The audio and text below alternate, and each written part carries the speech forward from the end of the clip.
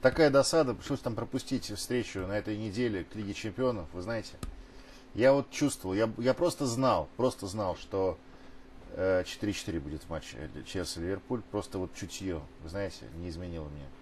И вот практически был уверен, что 2-0 будет после первого тайма и 4-4. И вот такая досада именно это я не успел вам рассказать. Не поверили? Ну, правильно сделали. Вообще, конечно, приметы бывают потрясающие в том, что касается ставок. Я вот, например, обратил внимание, что в этом году, в этом году, когда НТВ Плюс посылает какого-то своего комментатора на матч за пределы города Москвы, матч заканчивается со счетом 0-0. Представляете? Амкар ЦСКА, у нас Костя Генич летал. Он так и не смог выйти в эфир, там со связью были проблемы. Но 0-0.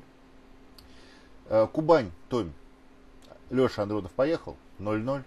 Зенит Амкар, я поехал в Питер по совершенно другим делам. Я не собирался комментировать этот матч. Но в конце концов комментировал. И 0-0. Представляете? В этом туре у нас никто никуда не едет. Можете быть уверены. Поэтому я буду исходить из более реальных посылок, чем чуйки или такие общетеоретические рассуждения. Э, начну с матча чемпионата Испании. Э, я один матч испанский в этом, в этом туре хочу э, вам предложить. Мне кажется, очень любопытная ставка в матче Хитафи-Барселона. Э, вы помните, что в прошлом туре я предлагал вам играть против Хитафи, я потом посмотрел эту игру. Явно я недооценил эту команду. Она снова приобрела такую хорошую плотность. Э, поэтому полагаю, предлагаю вам повторить э, ставку, которую я на днях уже вам советовал. Тогда играл Вальгидарит дома с Барселоной, и я рекомендовал вам играть хозяев с, с форой плюс полтора.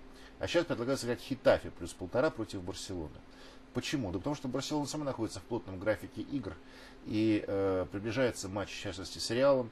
Очень важно сейчас правильно распределять силы, и я думаю, Барселона постарается сыграть очень прагматично. Она же еще играет и в гостях. Э, полагаю, что в этой связи э, Хитафи вряд ли должен проиграть больше, чем в один мяч. Вот поэтому, думаю, надо играть таким вот образом. Коротенькая ставка, она у нас будет за половину идти сегодня, да. Э, предлагаю сыграть Амкар Кубань меньше двух с половиной голов в матче. Потому что, ну, прорыв может случиться, конечно, в любой игре. Здесь, мне кажется, обе команды играют достаточно прагматично, э, чтобы вот на это уповать.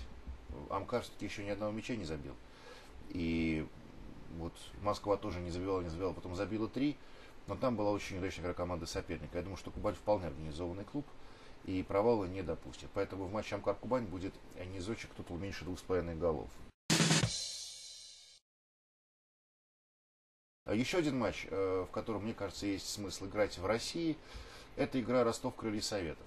Я вам советовал в прошлом туре играть Динам против Ростова. Объяснял это тем, что Ростов э, команда удачно стартовавшая, но при этом не показывающая стабильной игры. Э, конечно, ставка оказалась куда более боевой, чем могла бы, потому что у Динамо было удаление. Но все же анализ-то матча был верный. Ростов, собственно, и подвела та самая ситуация, что он не смог играть первым номером. Не смог играть достаточно надежно в обороне. Там было очень много ненужных нарушений. Одно из них и привело к взятию ворот динамовцами. А, вот и сейчас Ростов будет принимать крылья советов. Конечно, для Ростова эта игра домашняя. Но, тем не менее, я думаю, что вы убедились, а, Ростов все-таки пока еще достаточно сырой. Хотя сказать, Ростов сейчас достаточно сыр, но это было бы смешно. Поэтому Ростов еще довольно сырая команда, чтобы вести самостоятельно атакующие действия и взламывать организованную оборону, какая есть у крыльев. Э, крылья вместе с тем команда очень организованная, команда очень хорошо умеющая исполнять стандарты. И в ситуациях, когда Ростов, я думаю, все-таки будет играть достаточно осторожно матч дома, полагаю, со стандартами все-таки не убережется. Поэтому э, предлагаю вам сыграть крылья советов с форой 0 в этом матче. По-моему, достаточно неплохая ставка, особенно учитывая, что она хорошо оценивается Э, на э, сайте Betfair. Центральный матч тура в России. Это игра Локомотива и Зенита. Э, здесь матч, казалось бы, на три результата, хотя Зенит, безусловно, сейчас выглядит более классной командой. Как выбрать здесь ставку? Я думаю, нужно исходить из того, что Локомотив в каждом матче пропускает и в каждом матче забивает. И в этой ситуации, мне кажется, в этом матче правильно играть вверх. То есть тотал больше двух с половиной.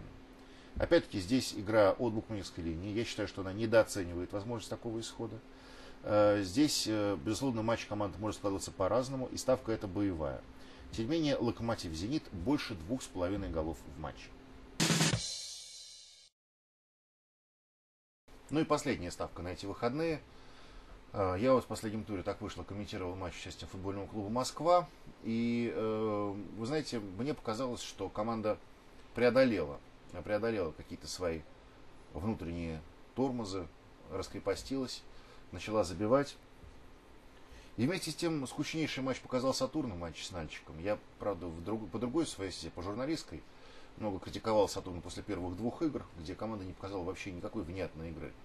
Полагаю, что и матч с Нальчиком укрепил это рассуждение. Полагаю, что в Сатурне в скором времени поменяется тренер, хотя это не важно, на это ставки, по-моему, не принимаются. Э, я думаю, что Москва, как минимум, не проиграет Сатурну, и, учитывая неплохие стандарты Москвы, может и победить. Вот так я думаю на этой неделе. Помните, что участвуя, э, вот, выходя с моего видеоблога на сайт э, Betfair, вы самым участвуете, если вы делаете ставки, участвуете в розыгрыше путевки на финал Лиги Чемпионов. За сим у меня все. Я вам передаю привет, желаю всяческой удачи.